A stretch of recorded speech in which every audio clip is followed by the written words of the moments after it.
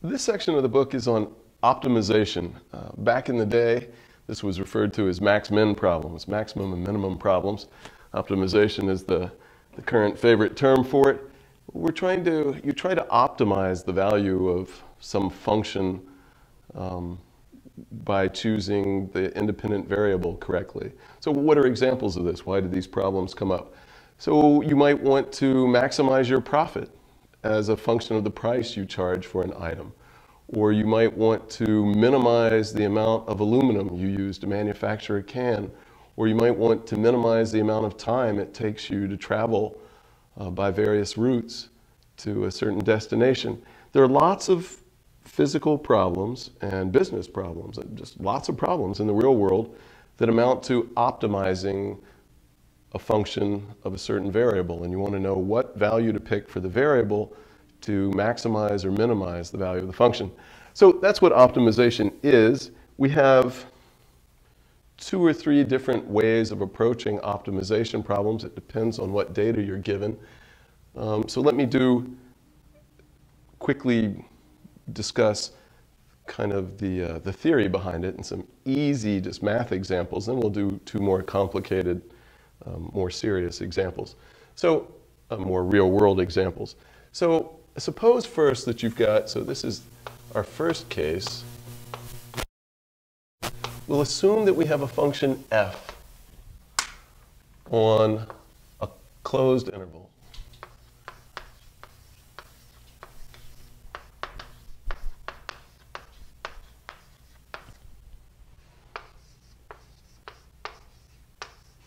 And we'll assume f is continuous on that closed interval.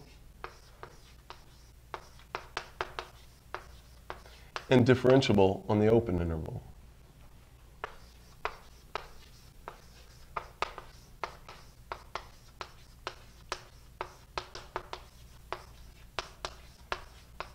Okay. What we'd like to know is where is f biggest? How do you find where f attains its biggest value and or its smallest value. Well, how do you even know it has one?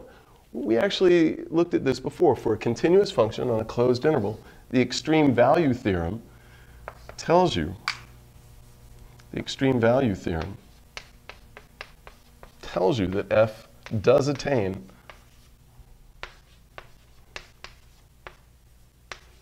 Since f is continuous, the extreme value theorem tells us that F actually does attain a global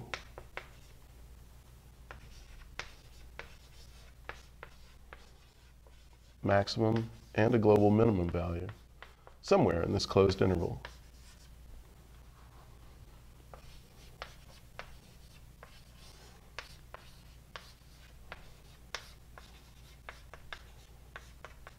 Okay.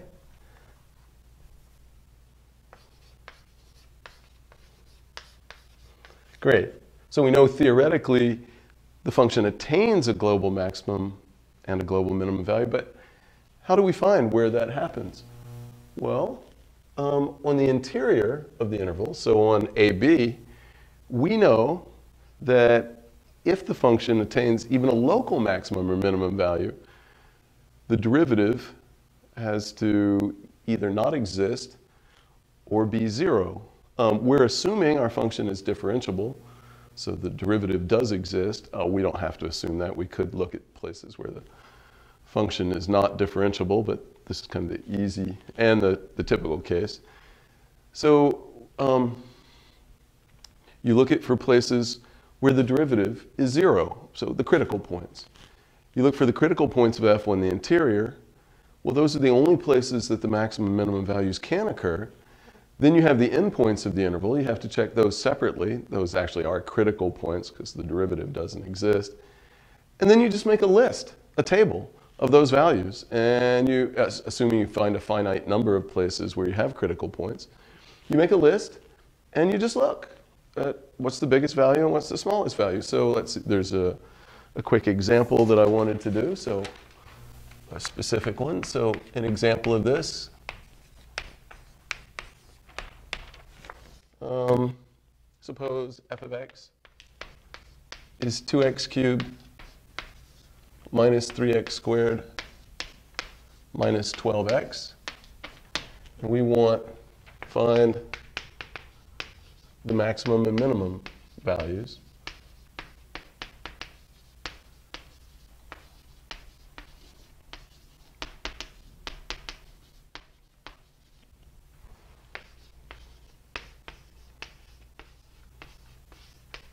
Of f on the interval 0, 3.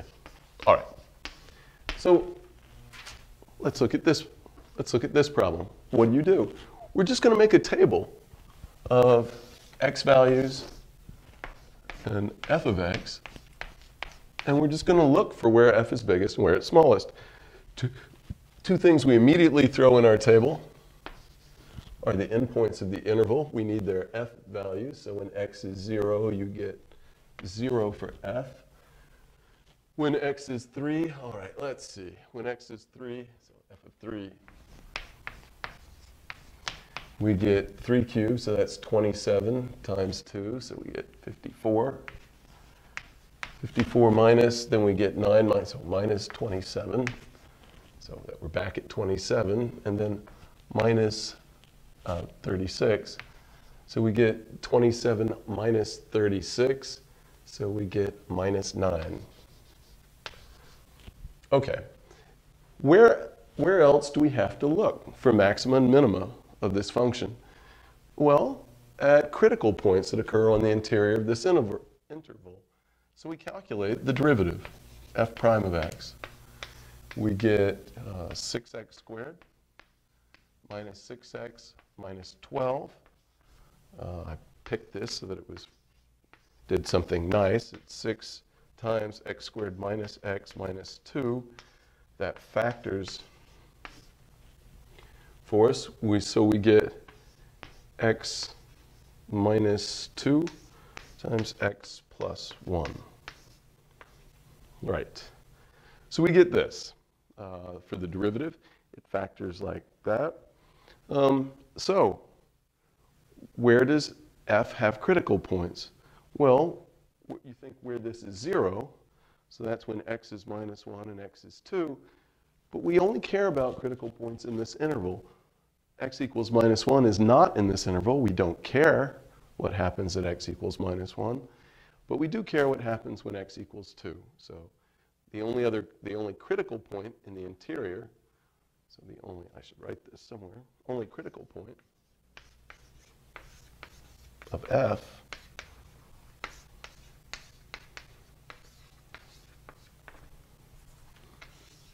in the interval from 0 to 3, the open interval, is x equals 2. And so we put 2 in our table, and we need the f value there. f at 2, um, f at 2, I'll try to cram it in right here. f at 2, we get 8 times 2, so we get 16, uh, minus 12, minus 24, so this is negative 20. Right, uh, 16 minus 36, negative 20. So we get negative 20. So, what do we find? We, we just look now. The biggest value of f that we have is here. The smallest value of f that we have is here. So the maximum minimum values of f on the closed interval from 0 to 3, the maximum value is 0. So this is the maximum. So this is the maximum value. And this is the minimum value. Okay, so that's how you handle max-min problems, optimization problems on a closed interval. Of course, we didn't really have a word problem. I just stated it as a math problem in the first place. But we'll do something harder uh, shortly. Um, what happens if you don't have a function on a closed interval? Well, things get a little problematic in some ways. Actually in, a sub in substantial ways. If your function is not even if your function's continuous, if it's not defined on a closed interval, then it doesn't have to attain a global maximum or minimum. The extreme value theorem does not apply. And so, eh, for a general arbitrarily bad function, we just wouldn't be able to do the problem. For one thing, there would be no maximum or minimum. And even if there were one, well, we might have trouble finding it. But there's, there's one case that comes up often enough that it's, it's very useful. Sometimes you've got a function that depends on a variable, and you're pretty sure that there is a maximum or minimum that you're looking for, and as this variable changes, you get closer and closer to the maximum, you hit it, and then after that, you decrease the whole time. Well, that's the kind of thing that we can handle when, when the function increases all the way until a point and then decreases or decreases all the way until a point and then increases. Then we don't need a closed interval. So suppose you have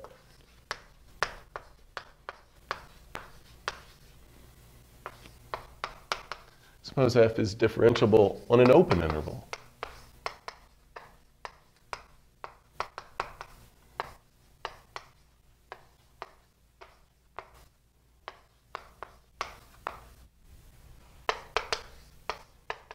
Or it could be half open and continuous on the half open interval and differentiable on the open interval, open interval. But I'll stick with this just for ease of stating one case. Suppose f is differentiable on an open interval, ab. Um, and that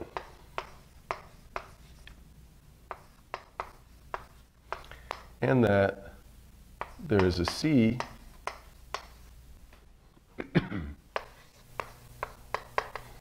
So th- there exists a number c in the open interval AB such that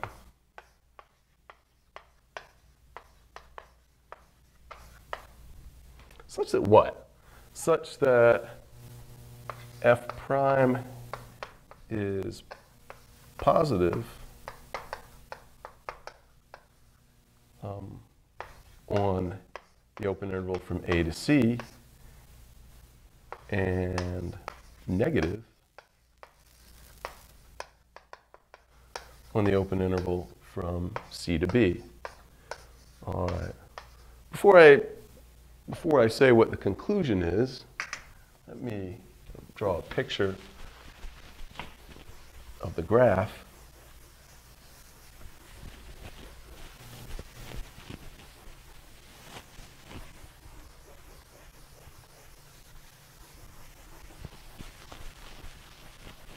So, what would this tell us? So, here's some open interval. Here's A, here's B. We're not including the endpoints A and B.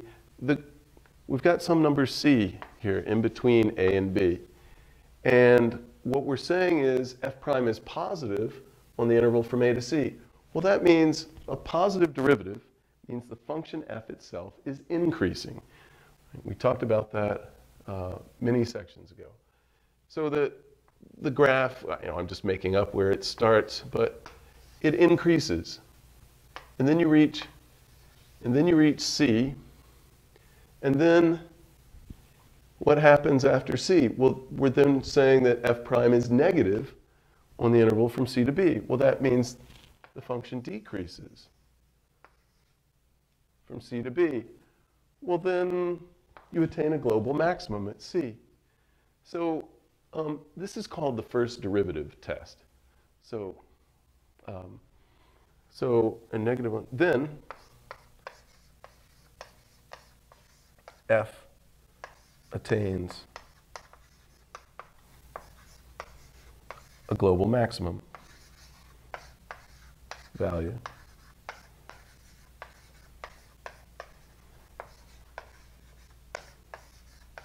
When x equals c. Right, so this is called the first derivative test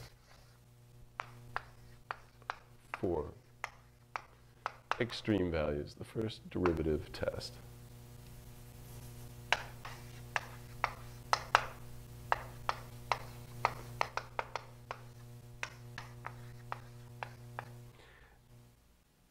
Great. What about global minima? Well, you just change. You know, first f would need to be decreasing, so f prime would need to be negative.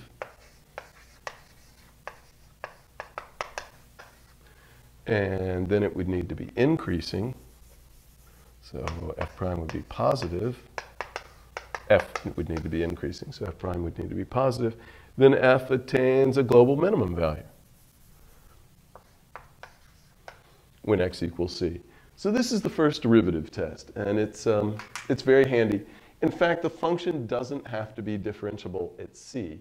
It needs to be differentiable to the left of c and differentiable to the right. Um, it only needs to be continuous at C, um, but this is, I'm stating kind of an easy form of it. So let's look at an easy example of this. Let's look at x e to the minus x.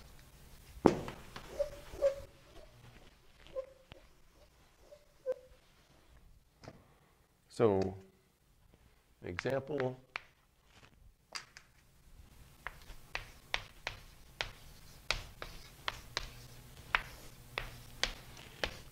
find the maximum value.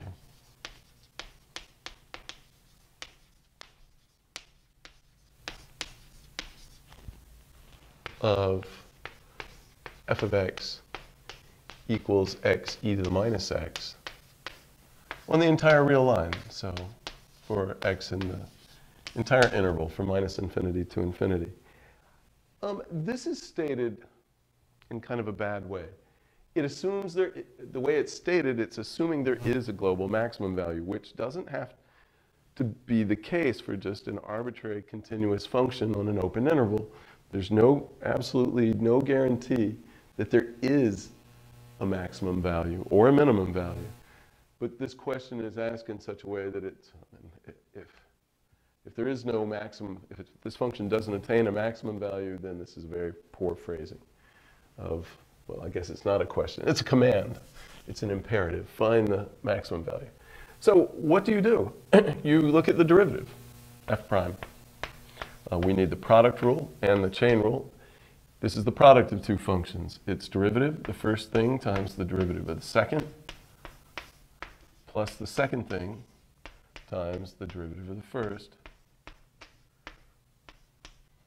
The derivative of e to the minus x the derivative of e to the x is e to the x. So the derivative of e to the anything by the chain rule, you get the e to the anything back, but then you have to multiply times the derivative of the exponent. So we pick up an extra times minus 1 plus e to the minus x. You factor out the e to the minus x. You get e to the minus x times minus x plus 1. All right.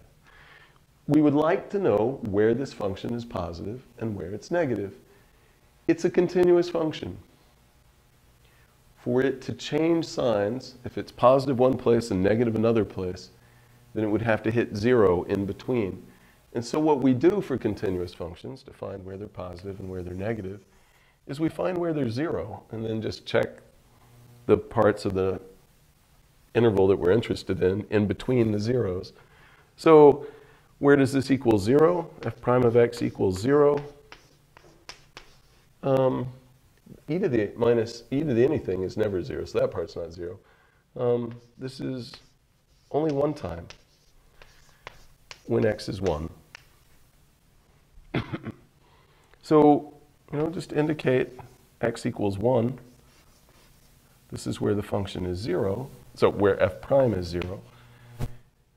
And we'd like to know whether f prime is positive or negative over here and whether it's positive or negative over here. It can't switch signs anyplace else because if it switched signs in between where it switches signs, it would have to hit zero, and we found the only place that hits zero. So it's either always positive over here or always negative. Always positive over there or always negative. So how do you tell what it does? You pick some value over here and you stick it into f prime and see whether it's positive or negative. So for instance, when x is 0. When x is 0, well, this part's always positive, that part's positive. So f prime is positive in this part, put a big plus up there. When x is greater than 1, like 2, this is positive, this part's negative, positive times negative, negative. So f prime is negative over there. Great. So we know f itself, f prime was positive until here. That means f itself increases until x equals 1 and decreases after that. A global maximum occurs at x equals 1. So the global maximum, what we've just found, global maximum by the first derivative test, global max occurs when x equals 1. And that value, when x equals 1, and so the global maximum value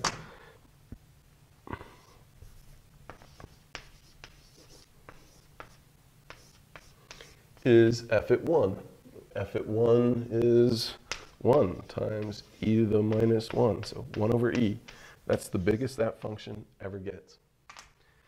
Okay, so that's an example of how you do handle max-min problems, optimization problems on intervals that aren't closed. Um, I said that there was a third way. The third way is sometimes for physical reasons or just the way in which you're given the instructions in the problem, it's clear that there is a maximum value or a minimum value. And you look for critical points and you only find one. Well, if there's a maximum value or minimum value, it has to occur at a critical point.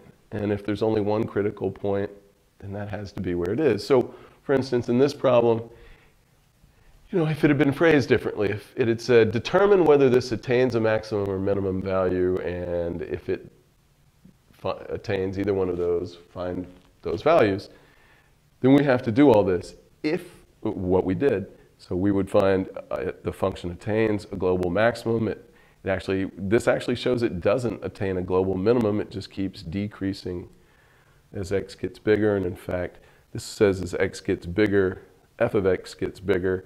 That means as x gets smaller, f of as x gets smaller, f of x gets smaller. So this function gets um, doesn't attain a global minimum. Um, but if you're told there, the function does attain a global maximum, so if the problem is phrased like this, it makes it clear that there is a global maximum value and you're supposed to find it. Well, we found one critical point, one place where f prime was zero, and that's at x equals one. If we know that the function attains a global maximum, um, and we only find this one critical point at x equals 1, that has to be where the global maximum is. And so we could have just immediately concluded that the global max occurred when x equals 1 and done this. Um, that's not my favorite way of doing things. You know, it's just kind of relying on somebody giving you more information than you should have. But sometimes physically it's kind of obvious there's a global max or min, so this isn't completely awful. Um, let's look at, I'd like to look at two more serious max-min problems, optimization problems. Um, both of them are in terms of, well, money, um, which is something we frequently want to optimize. So let's, let's look at kind of word problems involving maxima and minima. These are the kinds of things that actually come up in the real world where we'd like to be able to figure out the answer. So, suppose a company makes wrenches. A company makes wrenches.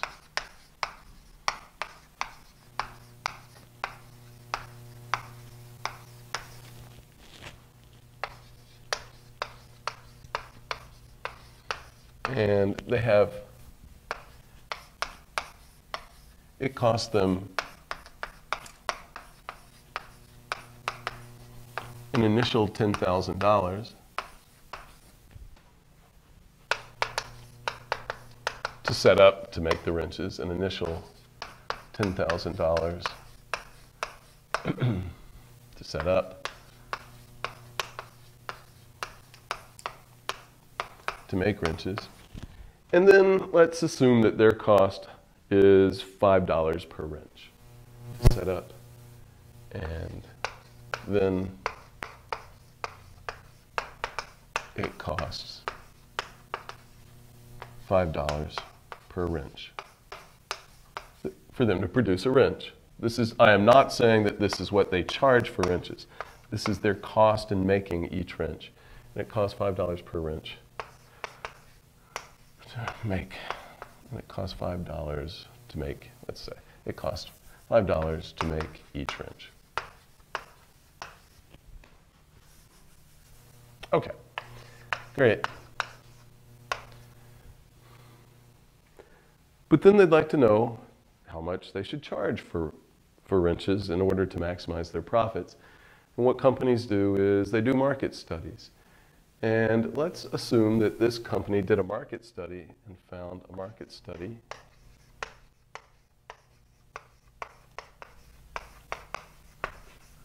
indicates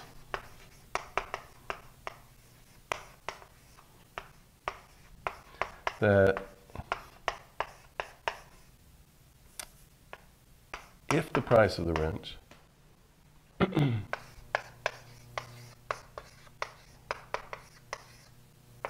So I'll call that little p, indicates that if the price p of the wrench, of the wrench, so this is the price they charge, either to stores or to individuals. Uh, the price of the wrench is $5, which would be stupid for the company to charge $5 per wrench. It costs them $5 to make each wrench, and then there's initial $10,000. So it'd be stupid unless it's some kind of promotional thing and they're trying to get you hooked to buy something else. But, uh, market study indicates that if the price P of the wrench is $5, the company will sell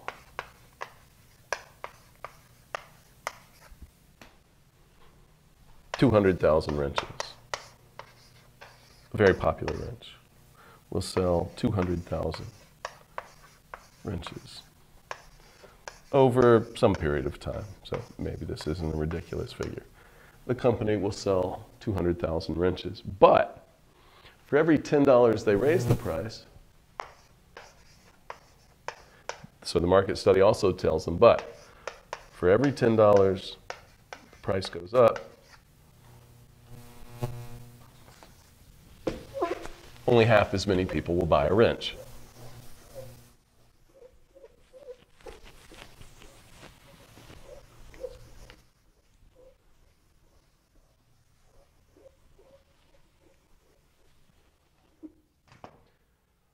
For every $10, but every $10 that they raise the price of a wrench,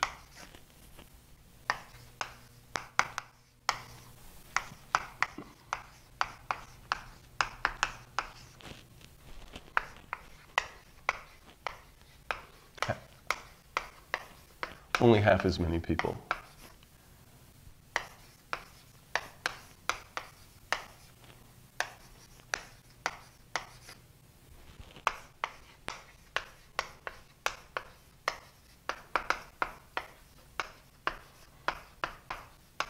All right, a lot of words. Most real world problems do have a lot of words in them. There's a big setup. And so um, the question course, is what, should, how, what price should they charge for wrenches in order to maximize their profit? So, what should P be? So P denotes the price.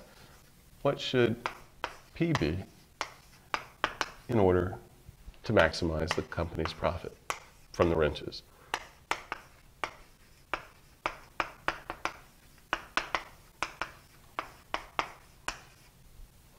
Right.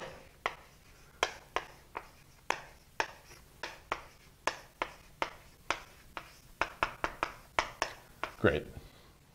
This is our problem.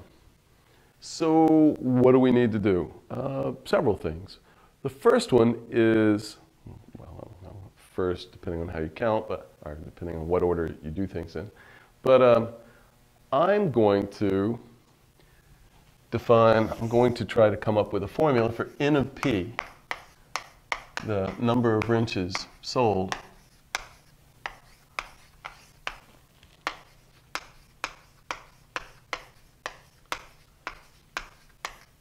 when the price is P dollars.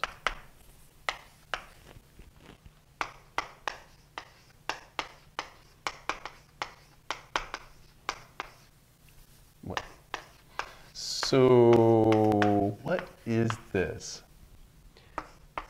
Actually, this is a lot like, or it's exactly like, when we discussed radioactive decay and half-life, or the half-life of a drug in a person's system, you're told kind of the half price, the, or you know, how much you have to raise the price by to have half as many people buying it. And it is not hard to write a formula for this. It's every time the price goes up by $10, um, every time the price goes up by $10, you should multiply by another half. So you want this, so that every time P goes up by $10, um, you'd get, so every time P goes up by $10, P over 10 would go up by 1, which would mean you'd pick up multiplying by another half.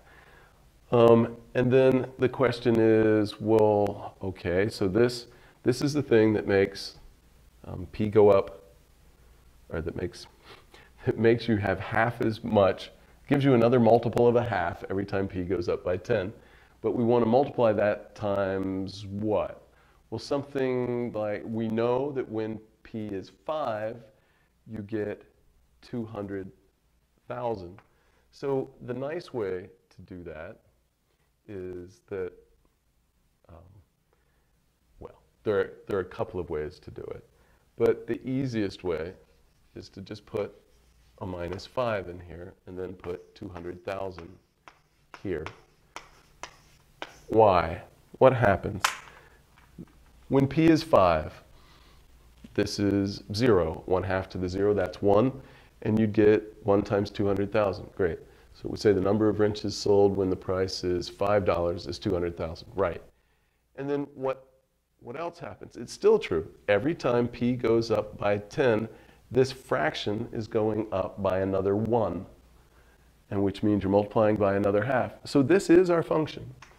Um, you could split off, and this is if you prefer, you could split off. You get 200,000.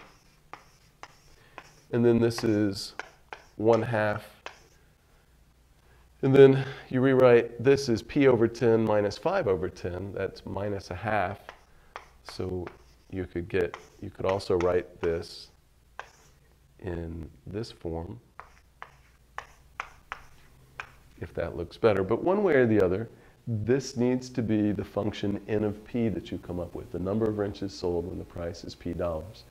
It's an exponential function with a general base of a half, and it's rigged so that when p is 5, you get 200,000, and every time p goes up by 10, uh, the exponent goes up, this whole fraction goes up by 1, which means you're multiplying by another half, which corresponds to the every time the price goes up by $10, half as many people buy it.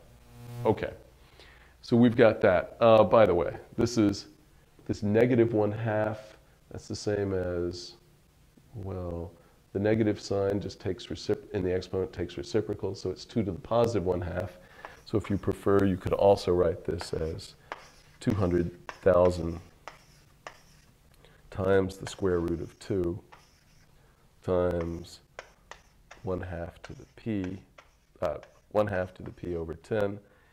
And you can also write that as n of p is 200,000 times the square root of 2.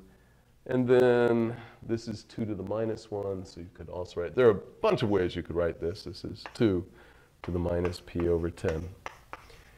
Any of these ways are fine. I think I'll stick with this one. Um, okay. That's N of P, the number of people who buy the wrench when the price is P. Okay? How much revenue does the company make? The revenue is how much they take in from selling the wrenches. So how much do they make on the wrenches? Well, if they sell this many wrenches and the price per wrench is P dollars, then the total amount of money they take in from selling this number of wrenches is just P times this number. So the revenue, the revenue from the wrenches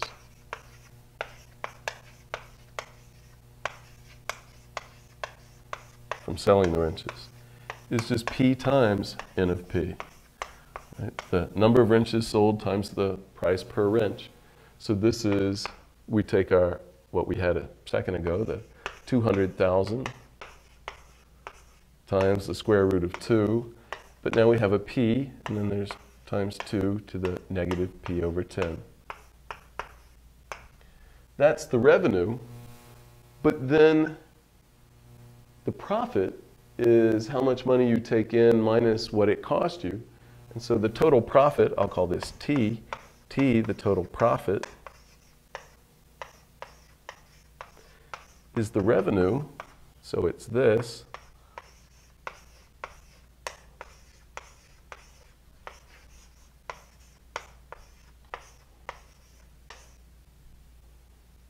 guess I don't need these. Well, I guess I'll keep writing the parentheses.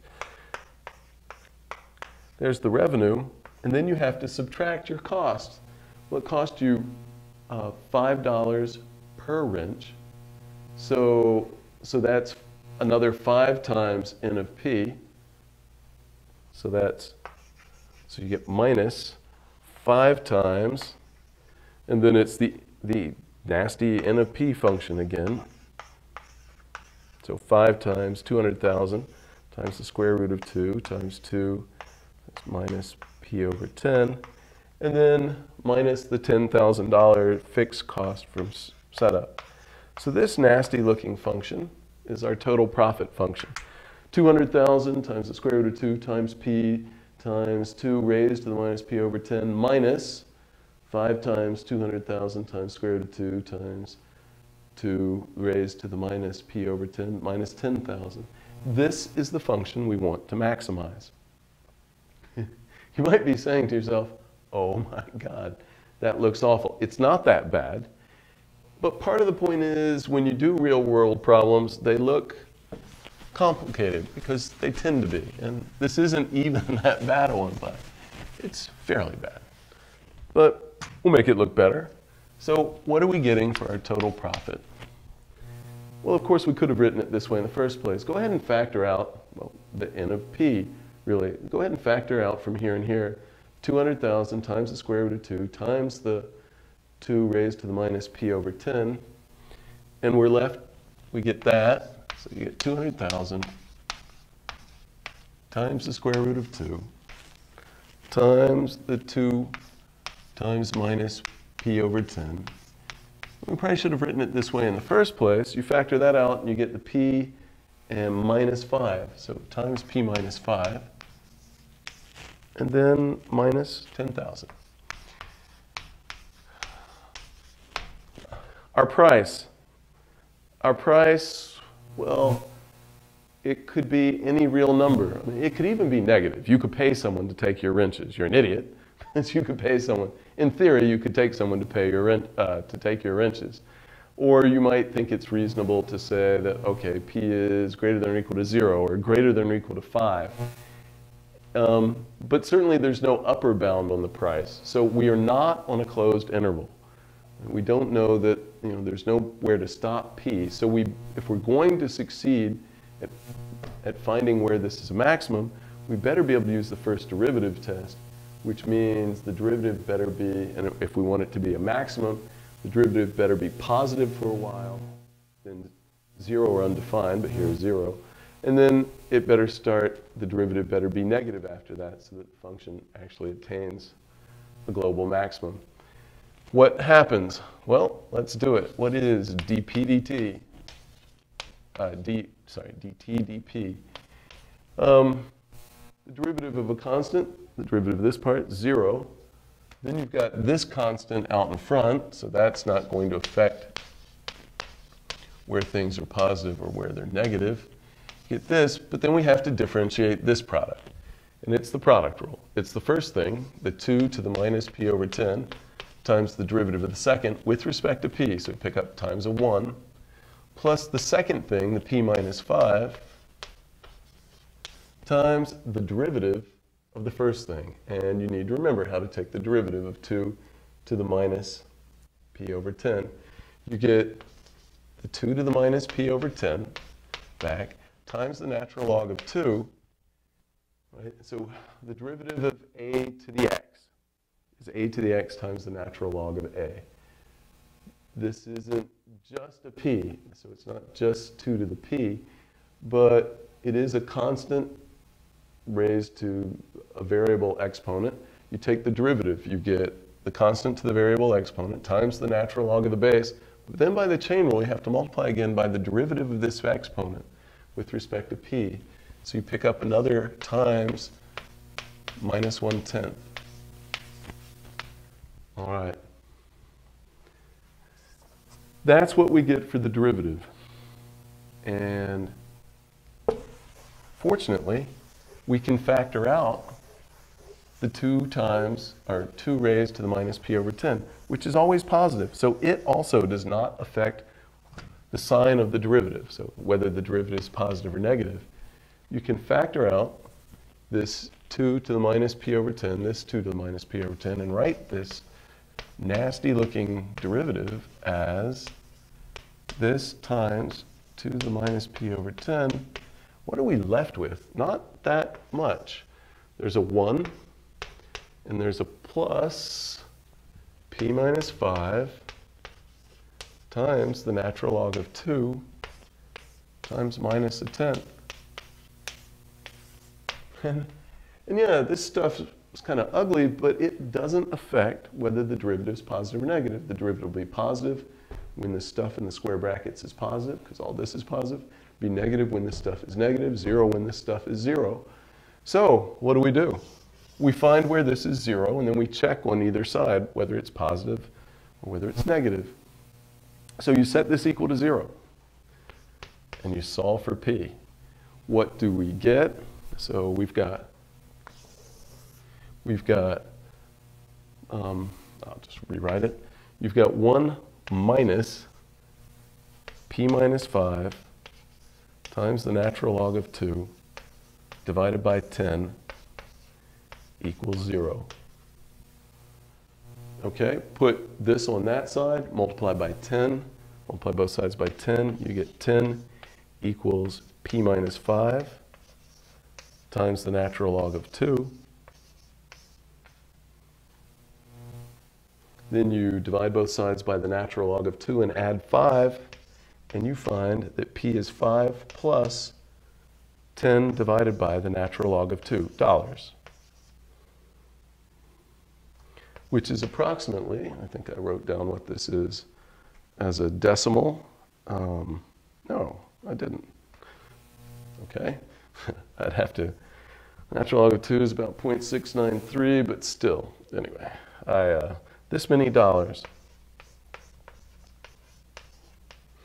Um, you can get out a calculator and estimate this. I could do it, but um, is it positive or negative when you're slightly below here and or uh, below here and above here? So you can just draw a little number line. Doesn't you don't have to draw much. Here's this p-value that we're getting, 5 plus 10 over the natural log of 2. This is where t prime is 0. What we'd like to know, so here's the value of little p, what we and that's where t prime is 0. We'd like to see that we actually have a maximum occurring at this price. Um, to know that, you would need to have the derivative be positive before here, so the function t itself increases until here and then decreases after there. So we need positive here, negative here. Is that really what we get? Well, you could plug in most anything down here, like in particular 5 is over here. 5 is over here because 10 over the natural log of 2 is certainly positive. Um, and when you put in 5, all of this is 0, and you get 1. All we care about is that that's positive. So yes, T prime is always positive over here. What do you get when P is greater than 5 plus 10 over the natural log of 2? Uh, like what? Like how about 500 trillion? When P is 500 trillion, this is huge, huge and positive, but then you multiply it times this, something huge and negative, plus 1, still negative. So yes. Right, T prime is positive over here, 0 here, negative there. T itself then increases until here and starts decreasing after that. The first derivative test tells you we have a global maximum occurring at this price. This is what they should charge, um, rounded to the nearest penny. All right, or up or down a penny, one or the other. Okay, uh, that's what we get for this problem. I, I want to do another very different feeling optimization problem, but again, having to do with money. So let's, um, we could phrase this one differently. We could not phrase it differently, change the problem slightly and have it be about surface area instead of about money. But let's talk about aluminum cans. Aluminum cans, frequently the top and bottom are made of kind of thicker or different looking aluminum.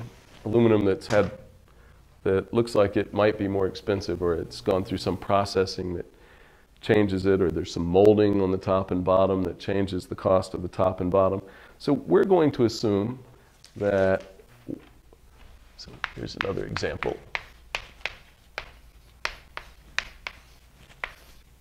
So we're making an aluminum can in the shape of a, a right circular cylinder of some radius r and some height h. And we want our can to hold, we want the volume. We're going to specify the volume that we need for it to hold. Volume V should be 500 cubic centimeters. Uh, that's 0.5 liters, but I don't care that much. Suppose that the sides of the can, so the, the side, this cylindrical side, so the side, it's a um, cost let's just say C dollars per cost C dollars, where C is some constant greater than zero. C is greater than zero dollars per square centimeter. Yeah, in fact, the aluminum has some thickness, but it's it's some finite, very very small thickness, and um, I didn't mean finite, some uniform, very small thickness. And so really we talk about the cost per square centimeter, even though really there's some volume. I mean, there's, it's definitely cubic centimeters, but um, you really don't, for all intents and purposes, you don't see the thickness. And then, but let's assume the top and bottom are twice as expensive. So top and bottom cost 2C dollars. So twice as much as the sides per square centimeter. The question, what should R and H be to minimize the cost of making the can? So what dimensions should the can have to minimize to minimize the cost? What should R and H be to minimize?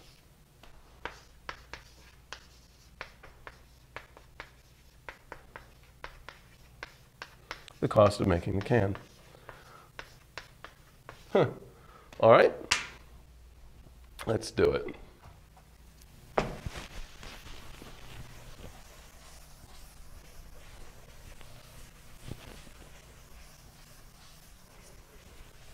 So you do have to know about the volume of a can in terms of its radius and height and the area of the sides and the area of the top and bottom. So um, the volume, we're told it's fixed. We want it to be fixed. It, I'm going to drop the units. They're all, all the length units are in centimeters. So we want 500 to be the volume in cubic centimeters.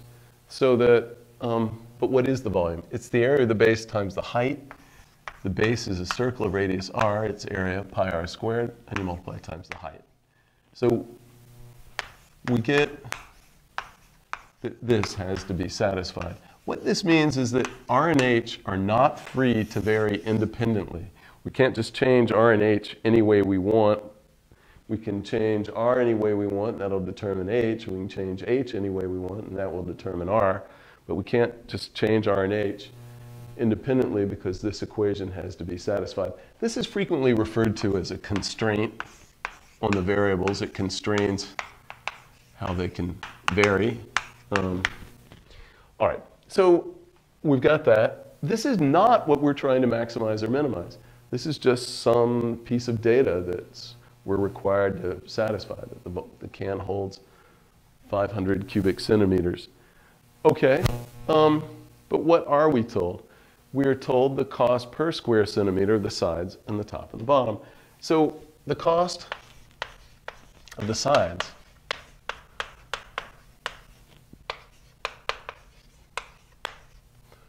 Well, that's the cost per square centimeter times the number of square centimeters. So that's the cost per square centimeter is just C, um, the cost of the sides. Um, the area of the sides, it's the area, so we've got this can. Um, we want the area, the area of this side, but that's the circumference of a circle times the height. So that's 2 pi r h. So that's the cost of the sides. The cost of the top and bottom is the cost per square centimeter times the height. That cost is twice as great per square centimeter, so we get 2c times, and then the area of the top and the bottom. Well, they're both circles of radius r, so each one has area pi r squared, but then we've got two of them. So you get this. So the total cost of, the, of making the whole can is, well, the, it's this, so that's 4c pi r squared, plus this, which is plus, uh, 2c pi r h. So there's the cost of making the entire can in terms of R and H. It looks like the cost is a function of two variables, R and H, and it is, and this, but this is not a multivariable calculus course. And we need a function of one variable, but we have our constraint that we haven't used. And we can solve for h in terms of r or r in terms of h. I'll solve for h in terms of r. Plug that in here, then we'll get the cost as a function of one variable, and we can take the derivative, find the critical point, see where the derivative is positive, negative, and do this problem. So we do that. We use the constraint and rewrite h in terms of r so that we can write our cost function just as a function of the radius. So we have, uh, yes, we have pi r squared h equals 500. And we have the function that we're trying to minimize, namely 4c pi r squared plus 2c pi r h. We solve this equation for h in terms of r. So it'll just be 500 over pi r squared. And then you put that in right here for h. That's the only place you see h in the formula for c. So we get c, just as a function of r, is 4c pi r squared plus 2c pi r times, and now this, so times 500 divided by pi r squared. Okay, so what happens? Well, let's see, this pi cancels that pi. You can cancel one of these r's with one of those r's. So just erase that. So we end up with c as a function of r is 4c pi r squared plus, okay, we have a 2c So we get 1000c, 1000c, everything else canceled except over r. So I'll write that as 1000c r to the minus 1 so that we can use the power rule easily. 1000c r to the minus 1.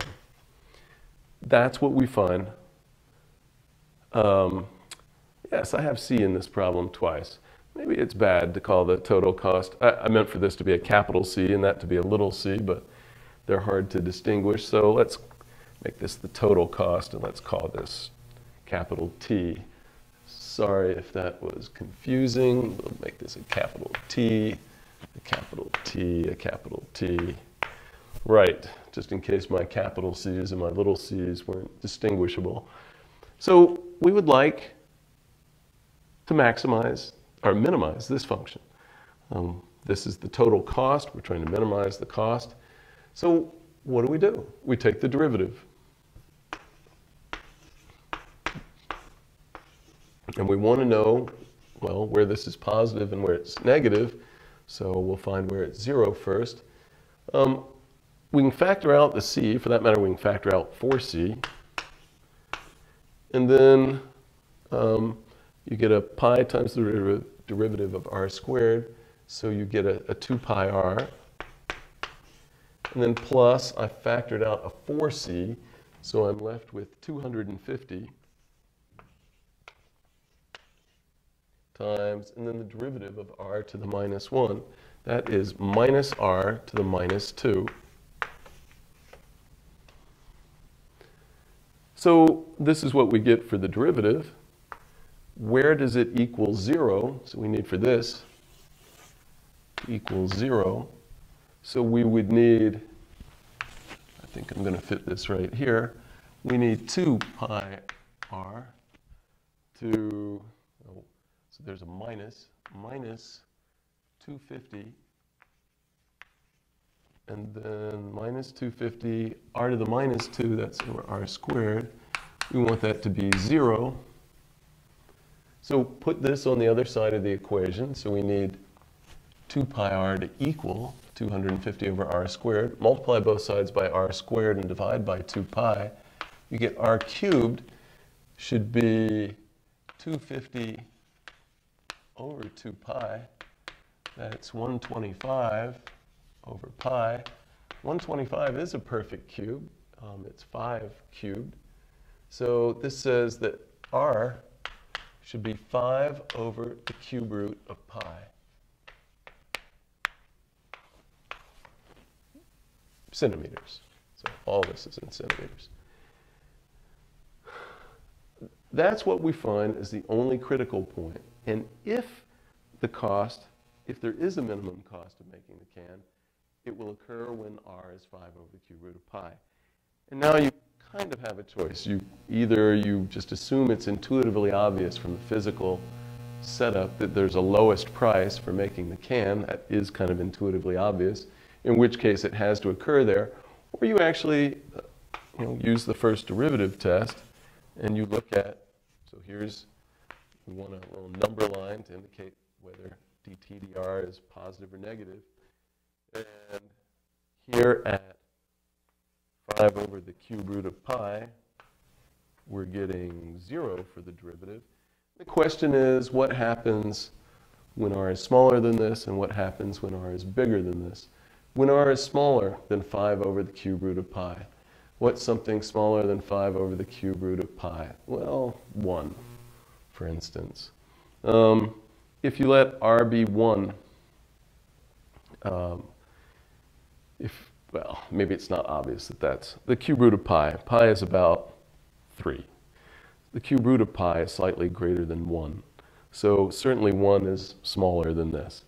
So when r is 1, you get 1 squared, or 1 to the minus 2, so that's 1. You get minus 250 so you get 2 pi minus 250. That is certainly negative.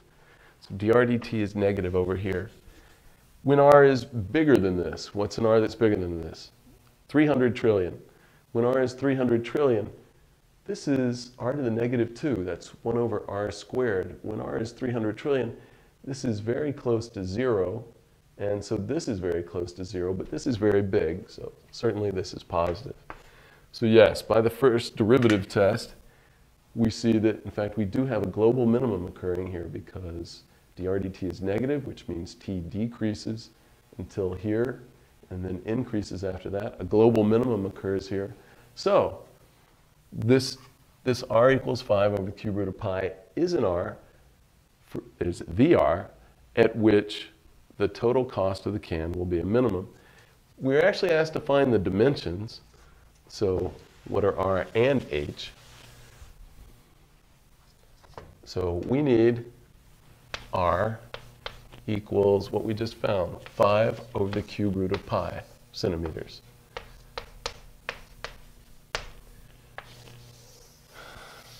What does that make h? Well, you plug that back in here and you solve for h.